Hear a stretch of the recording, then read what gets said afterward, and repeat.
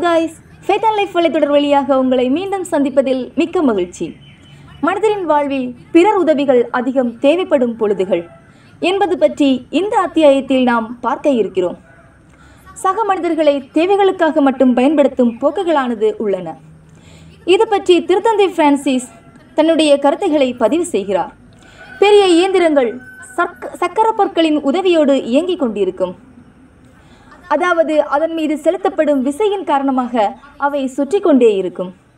அவற்றின் பற்கள் ஓடி ஓடி பழையதாகி பயன்படத்தன்மையை இழக்கும்போது அது தேவையில்லாதது என்று தூக்கி எறிந்து விடுவார்கள்.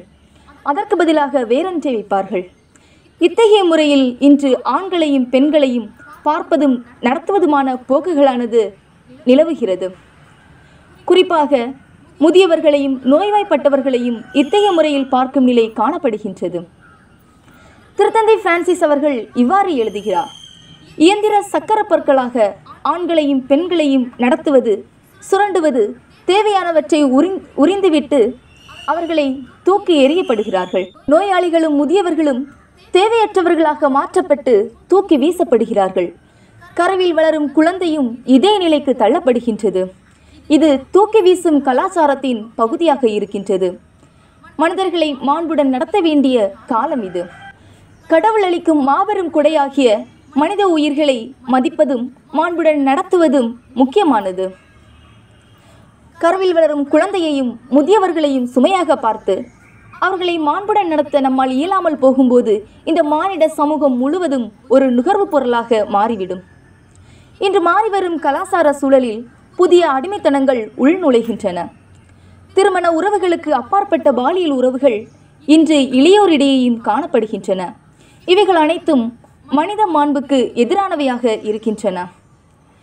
இவைகள் மனித மாண்பினை கெடுக்கும் என்பதை உணர்ந்து செயல்பட வேண்டியது கட்டாயமாக இருக்கின்றது. இல்லை என்றால் மனிதர்களை வெறும் பண்டங்களாக பா மட்டுமே பார்க்கும் பெரும் தீமையை நோக்கி நகர்வோம். இதற்கு எதிராக திருத்தந்தை தனது குரலை மிகவும் அழுத்தமாக பதிவு செய்கின்றார். ஒரு தாயின் வயிற்றில் குழந்தை கொள்வதும் வளர்ப்பதும் தாயின் உரிமையாக பார்த்தால் அது பெரும் தீமையாக மாறுகின்றது. தாயின் வயிற்றில் குழந்தை வளர்வதற்கும் இவ்வுலகில் அது பிறப்பதற்கும் அதற்கு உரிமை உண்டு. இதனை பற்றி நாம் கடந்த அத்தியாயத்தில் பார்த்தோம். அது கடவுளின் திட்டத்தின் பகுதியாக இருக்கின்றது. இவ்வுலகில் அது பிறப்பதற்கும் வளர்வதற்கும் அதற்கு உரிமை உண்டு. அந்த தாய்க்கு இருக்கும் அனைத்து உரிமைகளும் அக்குழந்தைக்கு உண்டு. அதாவது வளர்வதற்கான உரிமை மற்றும் பிறப்பதற்கான உரிமை. மேலும் வயதாகி நோய்வாய்ப்பட்டு வீட்டில் முடங்கி கிடப்பவர்களை தூக்கி எறிவதற்கான உரிமை பிள்ளைகளுக்கும் இல்லை. அவர்கள் மாண்பு மிக்கவர்கள் ஒரு மனிதரின் வாழ்வில் பிறரின் உதவியை பெரிதும் நாடும் இரண்டு பருவங்கள் உள்ளன. அவை குழந்தை பருவம் மற்றும் முதுமை பருவம். குழந்தை பருவம் என்பது தாயின் வயிற்றில் உருவாகும் போதே தொடங்குகிறது. முதுமை பருவம் என்பது வயதானவர்களை மட்டும் குறிக்காமல் தீராத நோயினால் படுக்கையாகி இருப்பவர்களையும் குறிக்கிறது. இக்காலகட்டத்தில் அவர்கள் மாண்புடன் நடத்தப்பட வேண்டும். இரண்டாம் வத்திக்கான் திருச்சங்கத்தின் இன்றைய உலகில் திருச்சபை என்னும் ஏட்டின் ஐம்பத்தி ஒன்றாம் பத்தி இவ்வாறு கூறுகிறது. உயிரின் ஆண்டவராகிய கடவுள் உயிரை காக்கும் உயரிய பணியை மனிதரிடத்தில் ஒப்படைத்துள்ளார். இப்பணியை மனிதர் மனிதர் மனிதத்தன்மைக்கு ஏற்ற முறையில் நிறைவேற்ற கடமைப்பட்டுள்ளனர்.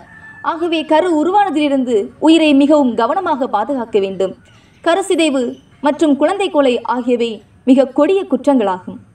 மற்றொரு அத்தியாயத்தில் உங்களை சந்திக்கும் வரை உங்களிடமிருந்து விடைபெறுகிறேன். நன்றி வணக்கம்.